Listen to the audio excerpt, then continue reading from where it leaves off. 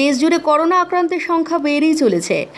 Corona মোকাবেলায় কলকাতা পৌর নিগম কর্মীরা বিভিন্ন এলাকায় স্যানিটাইজ করছেন।